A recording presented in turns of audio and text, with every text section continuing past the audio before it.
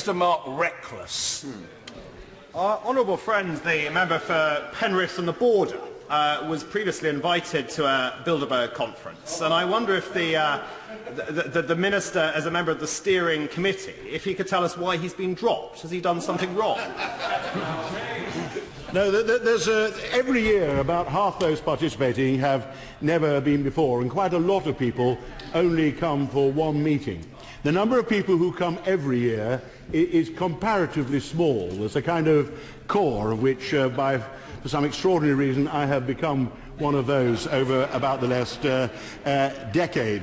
The, the, the honourable member for, my honourable friend, the member for Penrith the Border, made a most distinguished contribution, but he should not be disappointed that he wasn't invited next year.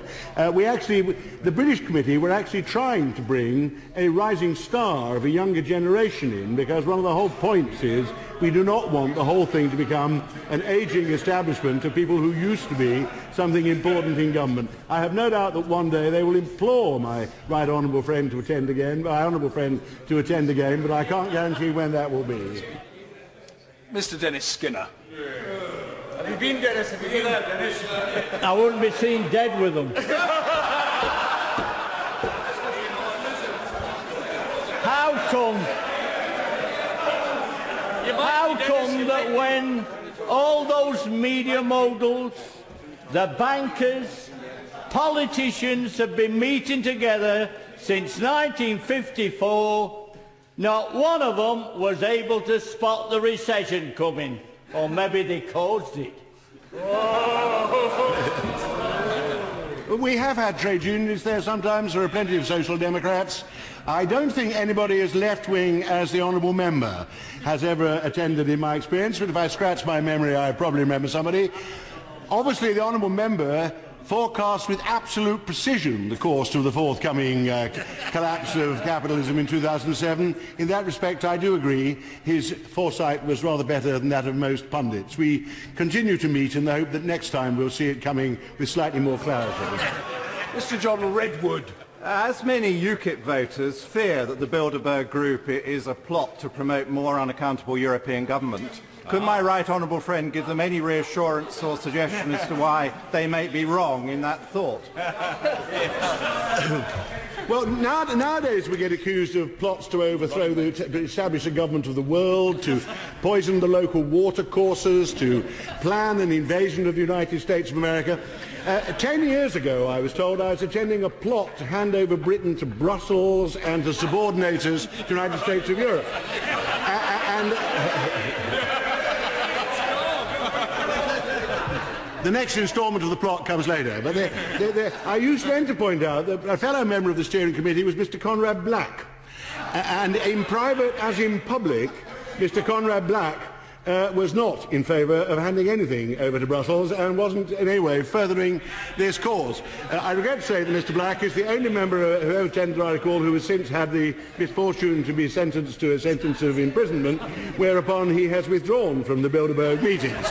Uh, um, but I assure, seriously, I assure my right honourable friend, there is the full range of opinion uh, from left to right pretty well represented at Bilderberg from across Western Europe. That, that in itself shows that the idea we're furthering any kind of agenda is absolute nonsense. If I was plotting to do anything, I would not actually assemble that particular group of people because you would never agree on an object. Watson!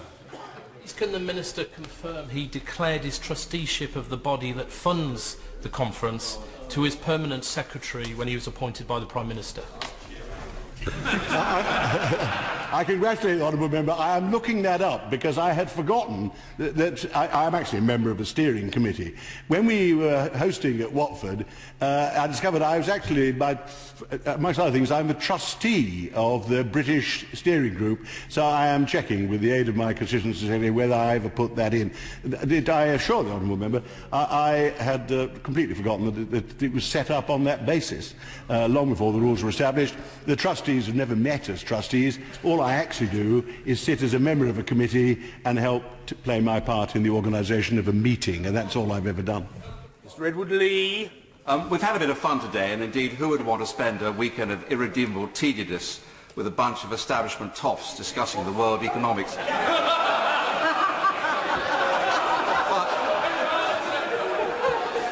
but the serious point is this, surely, and I put this to my right honourable friend, why on earth does the House of Commons think it's necessary to discuss what's said in a private meeting anyway? Uh, per- perhaps my right honourable friend wasn't here when I started. I mean, it's, this is the first time I've ever risen into the House of Commons to answer questions on behalf of a private organisation for which the British government has absolutely no responsibility whatever. Mr. Philip Davies. Speaker, I know I can't be described as a rising star, uh, and so, so should I? Should, I? Should I not presume that my invitation was lost in the post? Uh, but could the uh, can the uh, minister explain to us whether or not, either formally or informally, uh, he took the opportunity whilst there to discuss his uh, his, his uh, campaign to keep the UK within the European Union and which members of the European Union were actually at this particular conference.